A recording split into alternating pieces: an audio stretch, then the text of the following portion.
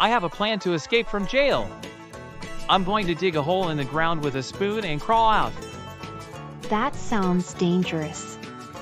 What if the guards catch you while you're underground? Don't worry. I'll just fart and cause anoxic conditions, and they'll die while I escape. That's not a solution. It's dangerous and illegal. Have you considered reaching out to a lawyer or seeking legal help? I don't have time for that. I need to get out of here as soon as possible. But if you get caught, you'll only make things worse for yourself. It's better to seek professional help and support. I know, but I can't just sit here and do nothing. I need to take action. I understand how you feel, but taking illegal and dangerous actions is not the solution. Please reconsider seeking help and support.